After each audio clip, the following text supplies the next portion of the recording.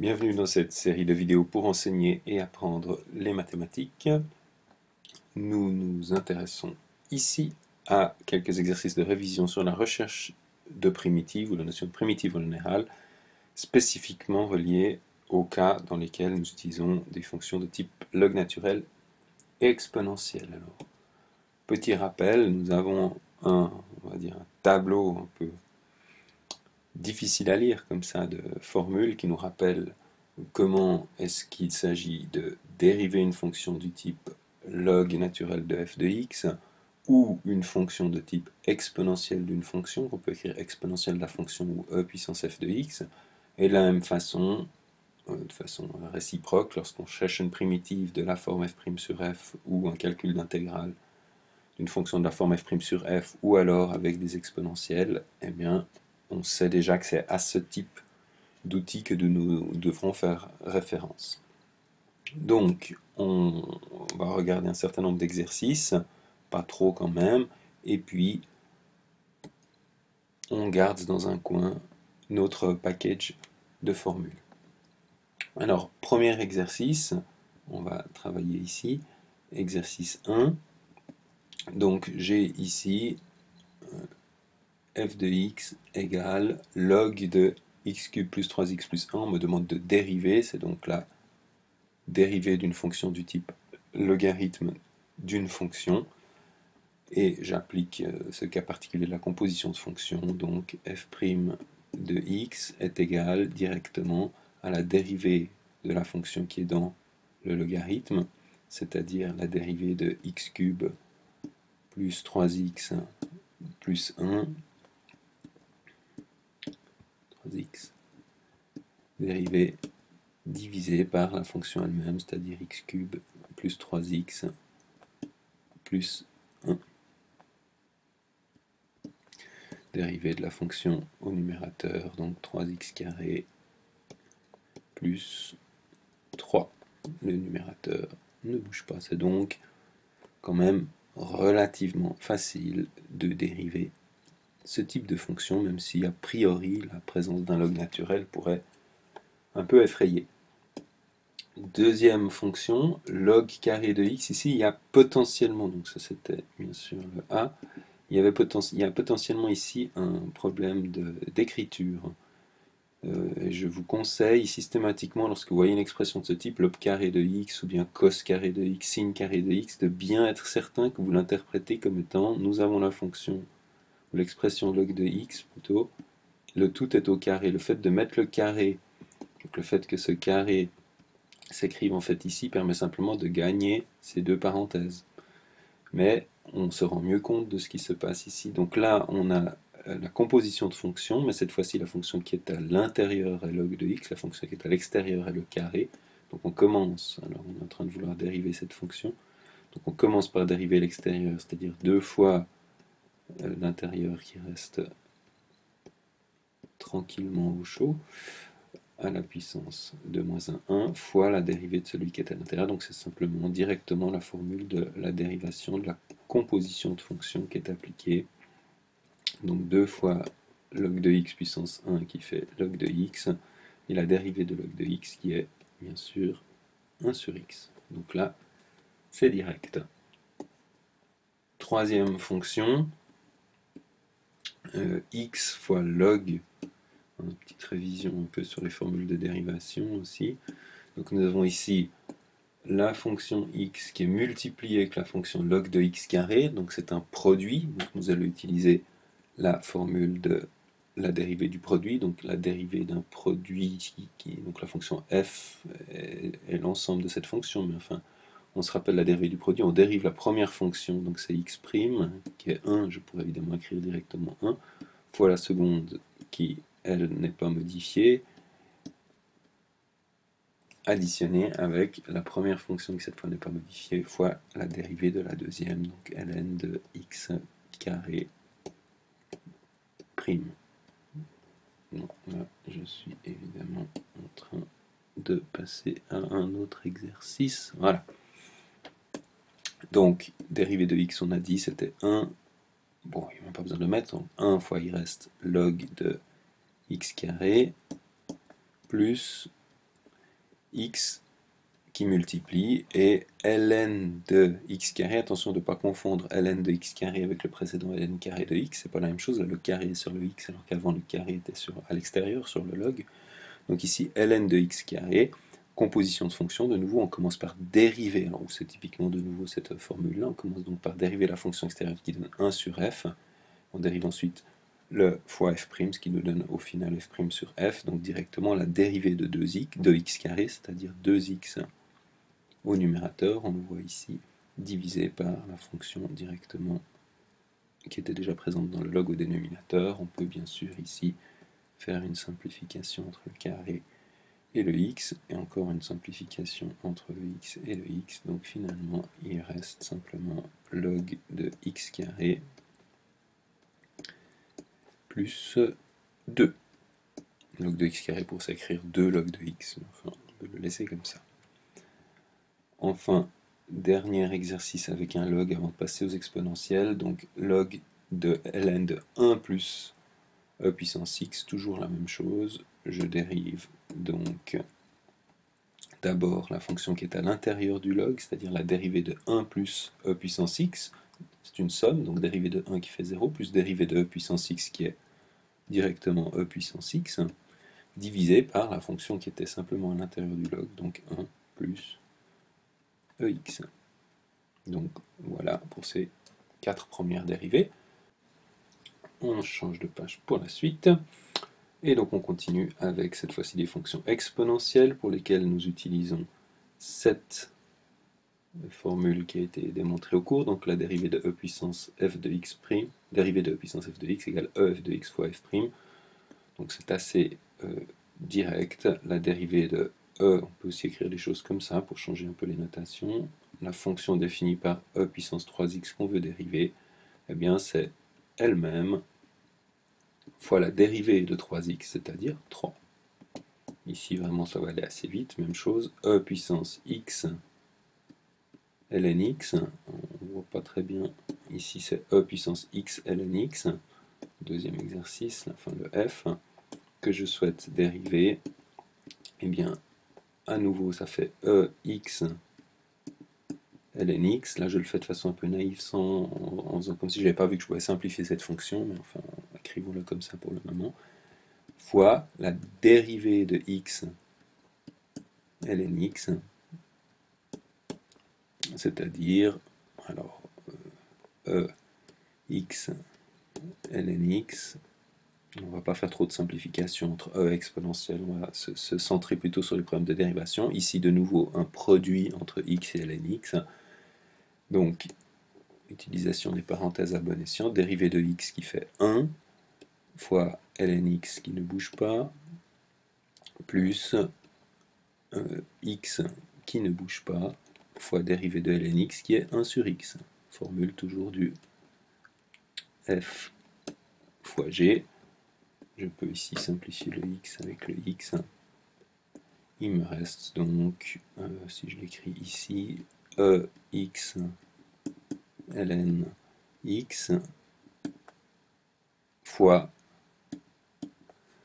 1 fois ln x, c'est-à-dire ln x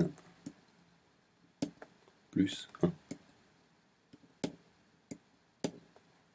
Et enfin, le dernier, e ln x alors là, de nouveau, on va faire comme si on n'avait rien vu, mais les deux fonctions étant réciproques, l'une de l'autre, ceci ça fait simplement e de ln x de x est égal à x, dérivée de x est 1, donc je pourrais directement dire que le résultat c'est 1, mais on va faire comme si on n'avait rien vu, donc ça fait e ln x, donc toujours la même chose, fois la dérivée de ln x, c'est-à-dire e ln x. Fois la dérivée de lnx qui est 1 sur x, ça paraît très compliqué, mais évidemment, e de lnx, comme je l'ai indiqué tout à l'heure, ça, puisque les deux fonctions sont réciproques l'une de l'autre, c'est simplement x, donc ça fait x fois 1 sur x, c'est-à-dire 1, évidemment toujours dans le domaine de définition de ces fonctions. Exercice suivant, pour chacune de ces fonctions, trouver une primitive. On passe aux exercices de primitive et non plus de dérivée maintenant.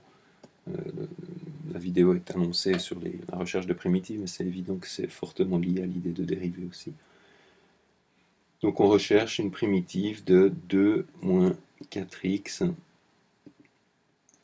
sur x carré moins x moins 2.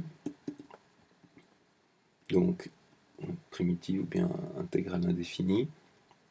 Donc immédiatement on reconnaît ici une fonction, euh, alors elle s'appelle f déjà ici, donc je vais l'appeler h de x. Et en haut, on a presque sa dérivée, puisque la dérivée d'x carré moins x moins 2 est égale à 2x moins 1.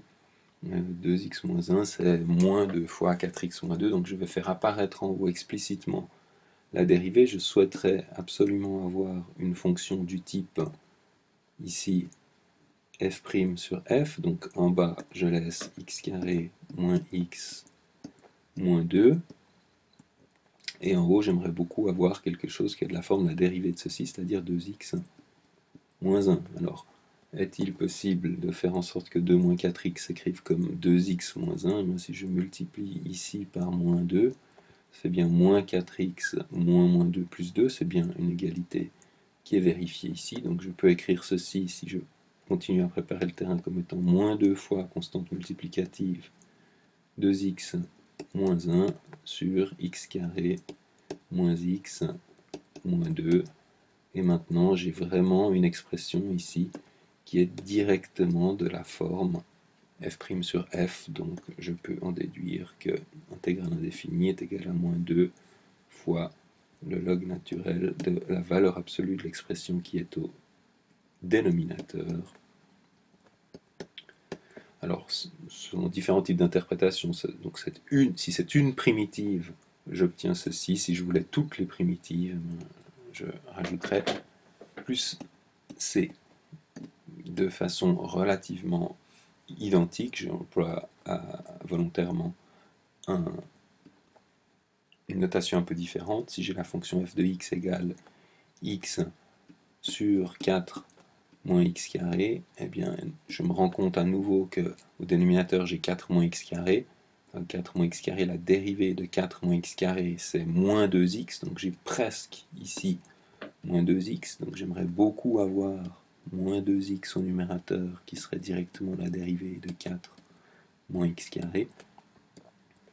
Euh, comment corriger les choses pour que ceci soit correct? Eh bien, il me suffit, puisque j'ai dû multiplier par moins 2, de multiplié par moins une demi ou 1 sur moins 2, ce qui me permet directement d'en déduire une primitive grand F de x, qui sera donc euh, la constante multiplicative 1 sur moins 2 ou moins 1 sur 2, c'est la même chose, ne va pas être impactée par le, calcul qui suit. Et là, j'ai une expression qui, à nouveau, est directement de la forme f' sur f, donc je peux directement en conclure il s'agit du log naturel de la valeur absolue de 4 moins x carré.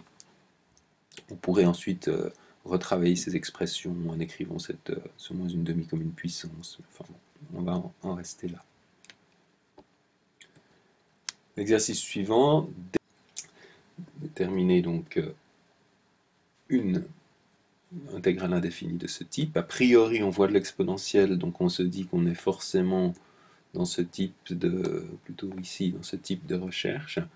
Mais euh, en étant un peu plus habitué, on se rend compte qu'en fait, on a de nouveau quelque chose ici qui est du type une fonction qui est au dénominateur et sa dérivée qui est au numérateur. Donc on a typiquement quelque chose comme ceci. Donc je peux écrire ceci comme étant euh, une primitive de e puissance 5x je, refais la même chose sur 1 moins e puissance 5x. Alors, est-ce que vraiment au numérateur, on a exactement la dérivée du dénominateur Qu'est-ce que c'est que la dérivée du dénominateur? Dérivée de 1, c'est 1, et la dérivée de moins e moins 5x, mais ce sera moins e moins 5x fois la dérivée de 5x fois 5. Donc, ce que j'aimerais avoir ici au dénominateur, ce serait avoir un 5 et euh, 1 moins devant. Si j'avais cette expression, j'aurais exactement au numérateur la dérivée du dénominateur. Donc il me suffit, comme d'habitude, de corriger par la bonne constante. Et donc d'en déduire que cette intégrale indéfinie est égale à moins 1 cinquième. La constante multiplicative n'intervient pas par propriété de l'intégrale. Et j'ai une fonction du type f' sur f, c'est-à-dire ln de valeur absolue de 1 moins e, e puissance 1 moins e puissance pardon, 5x. Euh, si donc ce symbole parfois signifie une intégrale indéfinie, parfois signifie l'ensemble des primitives de la fonction considérée. Si on les veut toutes, on met plus c, si on n'en veut qu'une, on laisse comme avant. Enfin, dernier avant pardon, dernier exercice ici, à nouveau déterminer une primitive telle que une condition soit vérifiée pour une fonction donnée.